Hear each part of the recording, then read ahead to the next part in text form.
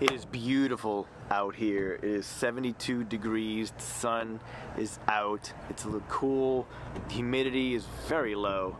This is very unlike New Orleans. All that means is the summer is gonna be hot.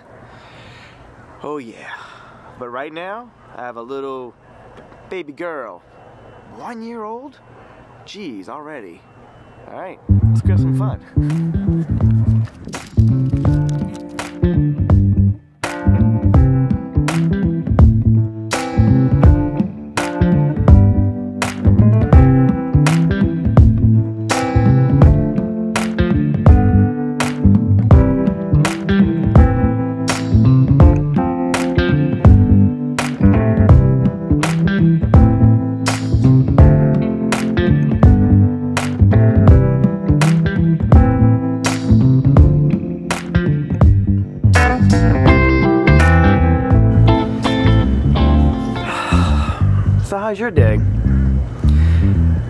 Having a good day, man. It's beautiful out here.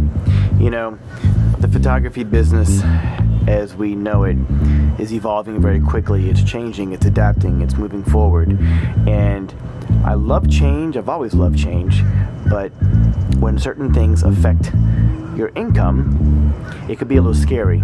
And I think that's a big reason why if you're starting a business to be to be afraid of the what ifs. That's the big the big leap. That's the big jump for starting your own business. But if you believe in yourself and you believe in what you're doing, you got to give it your 100%. You know what I mean? Even photography, you're, you're taking pictures of people and it seems like it's fun, but there's still a business aspect to this. Pricing yourself correctly, making sure you have liability insurance, making sure that you're advertising to some degree, whether that's Instagram, Facebook, a wedding magazine, a food magazine, wherever you're doing in photography, you need to stay in front of people. And you physically cannot get in front of everybody that you need. So you need to pay for marketing somehow to do so. So yeah, I know what it's like when you don't have the money to spend, but you have to spend some money. So do you take a loan or do you just save a little bit until you're ready to rock? I don't know, man. I think everybody's different. I saved. I know starting a business. Hold on, I'm gonna get down here. Ugh.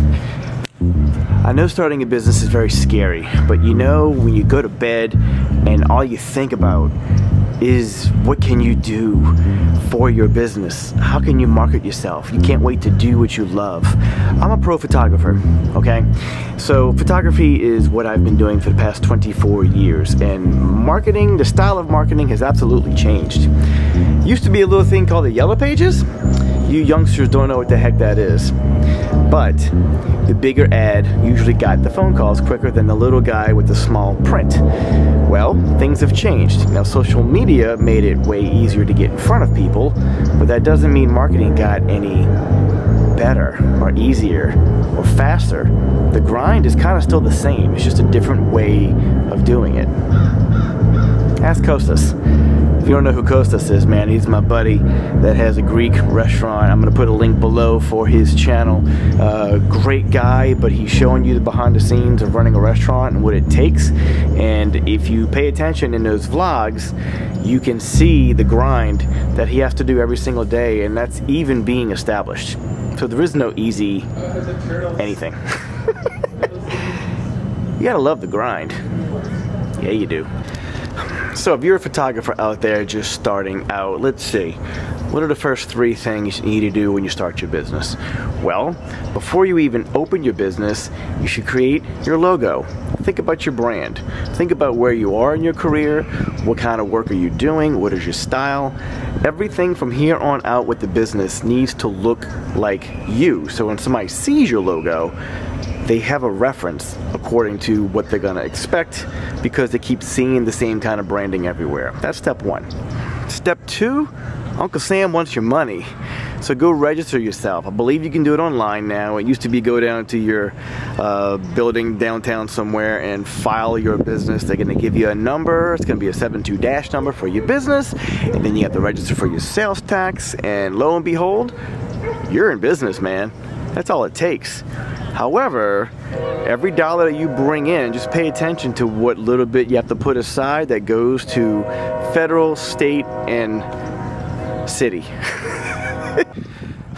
so you did those things. Now you're ready for step three. Build your website. You're probably asking, why would I do that third? Shouldn't that be first? It's kind of like your website is your billboard everywhere. So if you're a business, you want to get that billboard out everywhere. So when people ask me if a website is still relevant or not, heck yeah it is. If you're just going to be on Instagram or a link like everybody else, what did I just say? You'll be like everybody else. You need to have a personal little home that you reside in as an artist. And you can set your own tone, your own themes, set your prices, not be afraid of mixing and mingling with the hashtag on Instagram or Twitter. Own you, man. Yeah, build that website. And you know in your heart, there could be a million photographers out there. There's only one you in town. So when people ask me, are you the best in New Orleans? I cringe when they ask me that because I don't believe in the best. I just don't. I think we all have moments of greatness, and as a pro, you learn over time how to pull that out for every single client. To me, that's what a pro is. Um, there's only one GK in town, and that's me. And that's why I created this YouTube channel because it gives me a little more social media push that most people are not doing locally. That's right.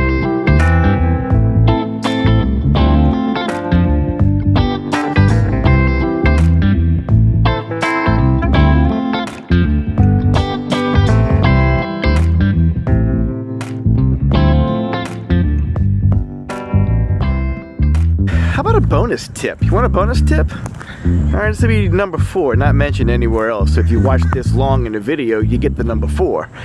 This is actually very important because it's something that I'm doing right now. Create a social media schedule for yourself. Meaning, you may be on three or four or five different platforms, but you know you can't juggle these things every single day. So make yourself a little calendar Monday, Tuesday, Wednesday, Thursday, Friday. Okay? Tell yourself Monday and Wednesday is going to be website, new client to add, do all the tags to get your searchability for your SEO. Tuesday, let it be a Facebook album. You know, Wednesday or Thursday, let it be your Instagram feed. Make sure you have an Instagram story. I know it's a lot that's going on this day and age, but it's completely manageable because I'm personally doing everything myself for my business.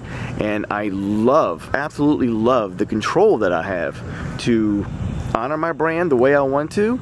And that's what people see and know and love. Yeah. So anyway, if you're new to the channel, thanks for being here. I truly appreciate you. I have a little one-year-old coming soon, so I need to go work.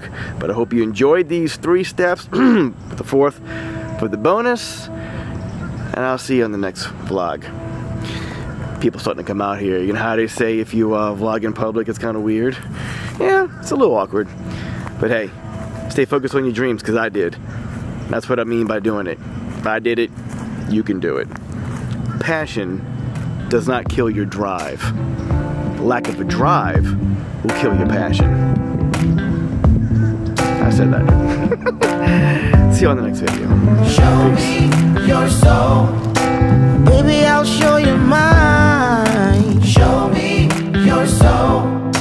Honey, it's way past time. How explicit do I have to be? Need I spell it out before you get it, baby? Show me your soul. Honey, I'll show